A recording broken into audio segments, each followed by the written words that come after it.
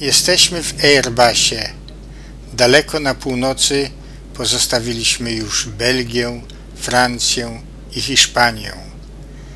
Teraz pod nami widoczne wybrzeże portugalskiego Oceanu Atlantyckiego.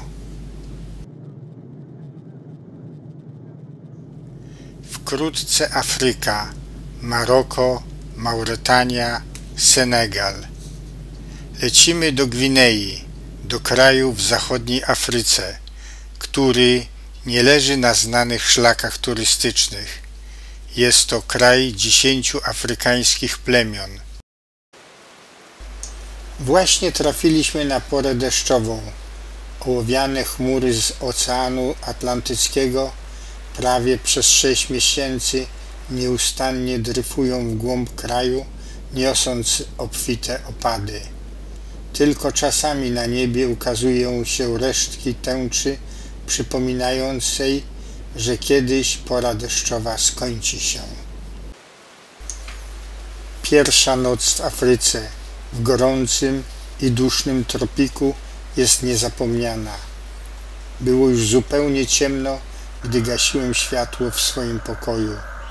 Na zewnątrz rozpoczął się koncert żab. Setki albo i więcej żabich gardeł wydawały głośny rechot. Rech, rech, rech, tak nieustannie i rytmicznie. Wreszcie koncert żab ucichł. Rozpoczęła się tropikalna ulewa.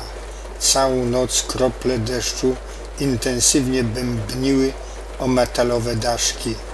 Kiedy się to wszystko skończy? Piekielnie duszno, wilgotno, zasypiam rozmyślając o tym, po co ja właściwie tutaj przyjechałem i to w szczycie pory deszczowej.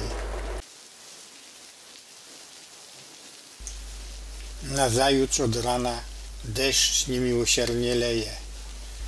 Woda w Afryce to istny skarb, który można umiejętnie zamienić w pożytek. Można uzyskiwać obfite plony. Sprawa w tym, aby umieć ją wykorzystać.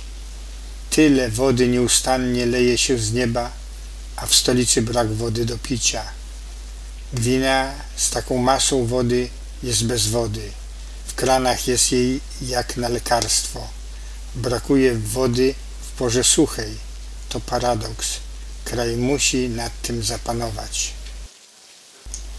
Wszystko jest w porze deszczowej przesiąknięte wilgocią. Papiery, bielizna i ubrania. Wszystko jest lepkie. Nie ma gdzie wysuszyć prania. Korzystając z chwilowych okazji, gdy słońce wyłoni się z za chmur, bieliznę suszy się gdzie się tylko da. Na chodnikach wielkiego miasta lub na dachach domostw.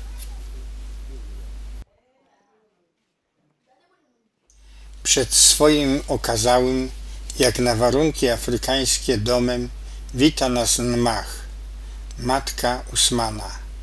Nmach jest odświętnie ubrana, pięknie się prezentuje. Głowa przykryta jasnym rąbkiem i chustą, która spływa łagodnie na ramiona i ręce.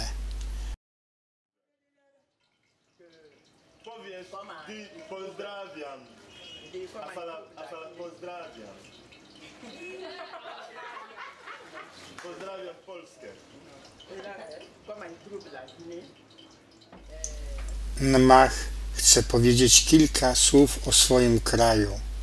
Nasz kraj jest bardzo biedny, nierozwinięty, ale staramy się sytuację poprawić. Nieustannie o to walczymy.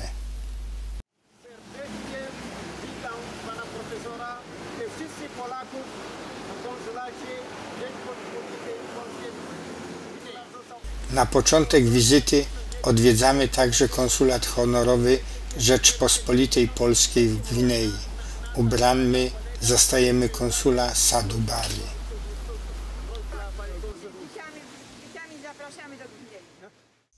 Wchodzimy na podwórze. Wita nas sympatyczny pies Blanchet, o którym opowiadane są już legendy. Na środku podwórza króluje okazały dwupiętrowy kwietnik. Dom otoczony jest ogrodem ze wspaniałymi południowymi owocami. Sadu pokazuje biały kwiat z czerwonymi elementami. Jest on tutaj dla niego w Afryce symbolem Polski i polskiej biało-czerwonej flagi. Pani Maria przyjmuje gości prawdziwym polskim obiadem. Wszystkie produkty przywiozła z Polski. Smaczne grzyby pochodzą z lasów pod Popowem. To już końcówka polskich produktów. Trzeba je znowu przywieźć z kraju. Sadu był stypendystą rządu polskiego. Podczas studiów w Warszawie poznał Marię. Po ukończeniu studiów wyjechali do Gwinei. W latach 60., 70., 80. w Konakry funkcjonowała polska ambasada. W chwili obecnej jest to konsulat honorowy. Tymczasem Sadu i Maria dalej dzielnie wspierają polskie interesy w Gwinei. Na świecie są cztery Gwinee, mówi Sadu. Gwinea, Gwinea Bissau, Gwinea Równikowa i Papua Nowa Gwinea. Przy naszej Gwinei czasami dodaje się nazwę stolicy, czyli Gwinea Konakry. W języku Susu Gwinea to znaczy kobieta.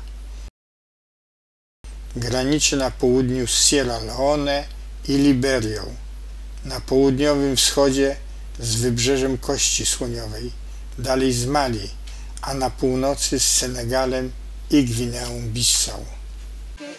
dziewcząt z Afryki Zachodniej. I chcę, żeby Polska była implikowana.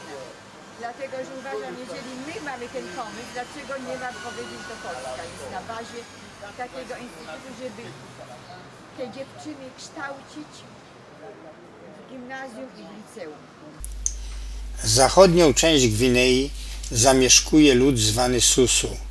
Handel, obok rolnictwa i rybołówstwa to główne ich zajęcie. Rodzina jest bardzo ważna dla tego plemienia. Popierają oni małżeństwa pomiędzy kuzynostwem i żyją w dużych grupach rodzinnych. Wielożeństwo jest więc wciąż powszechne. Susu na obecne tereny przewędrowali stosunkowo niedawno, bo 300 lat temu. Dawniej mieszkali bardziej na wschód, Futa Jalon, wyparci przez plemię Fulan. Język Susu jest głównym językiem stolicy, ale także wszystkich miast i wiosek zachodniej Gwinei.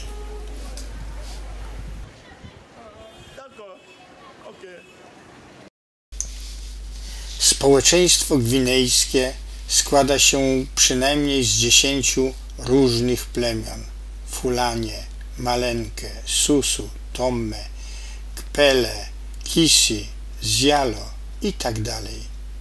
Każde plemię może wnieść wkład do dorobku narodowego. Są to zdolne narody.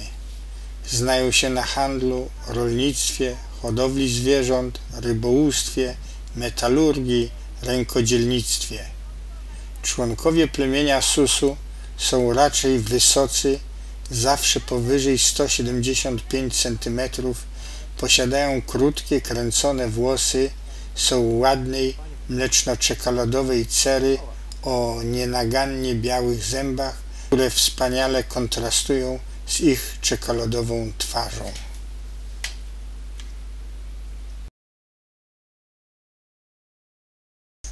Na brzegu oceanu, w slumsach, na placach mieszkają uciekinierzy z Sierra Leone.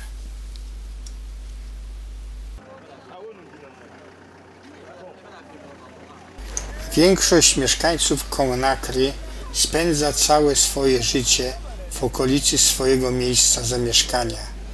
Są zbyt biedni, aby podróżować po kraju. Jak już podróżują, to często w sposób, który nie gwarantuje żadnego bezpieczeństwa. Samochody są skrajnie przeładowane. Pasażerowie często zajmują miejsce na dachach pojazdów. Młodzieńcy uczepieni tylnych drzwi stoją na zderzakach. Jest to bardzo niebezpieczne.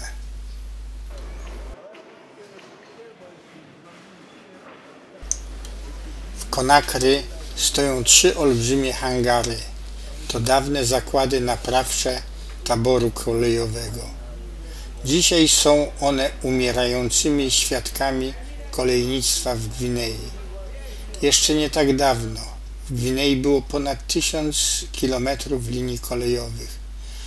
Pociągi pasażerskie z Konakry jeździły do położonego na wschód miasta Kankan i na północ do miasta Fria. Na betonowych platformach hal byłych warsztatów kolejowych prowadzone są różne roboty warsztatowe, a w wagonach pasażerskich znajdują się podręczne magazyny. Jedna hala zajęta jest przez wytwórców mebli, a druga to różne metalowe warsztaty mechaniczne. Hangary są miejscem pracy wielu ludzi. Obowiązującą walutą jest mało warty frank gwinejski.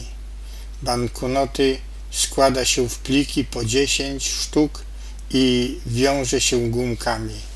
Dopiero taki stosik ma jakąkolwiek wartość.